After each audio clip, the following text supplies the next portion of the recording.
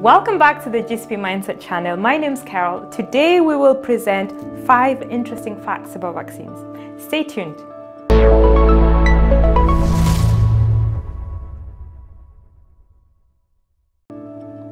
Fact number one. Orphans were used as temporary storage containers. Since modern refrigeration was not available in the late 18th century, King Charles IV of Spain used 22 vaccinated orphans to spread the new smallpox vaccine throughout the world. They had to travel across the country, and their blood was used to make new vaccines at each destination. Happily, we don't need that distribution method anymore.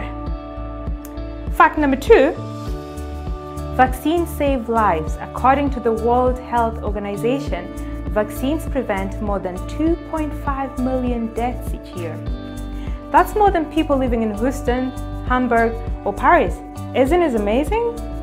Fact number three ants use herd immunity. Social immunity is a real phenomenon, not only in ants, but also in termites and probably wasps and bees too. Healthy ants, for example, lick ants which are infected with deadly fungus to spread the infection.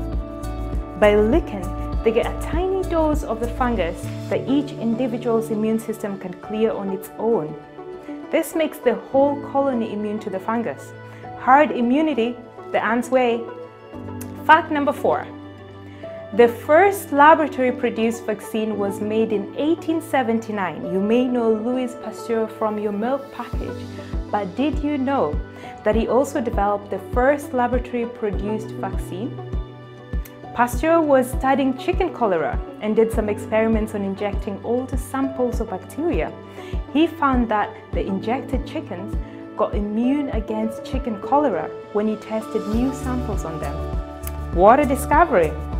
Fact number five. Have you ever heard of Maurice Hilleman?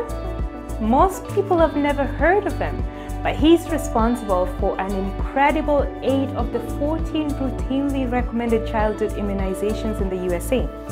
He was an American medical doctor, microbiologist, and a vaccine expert, known for developing several important vaccines, including vaccines against measles, mumps, and meningococcal disease. He's known for a total of around 40 vaccines, both for humans and animals. And although he never became publicly famous, he probably saved millions of lives.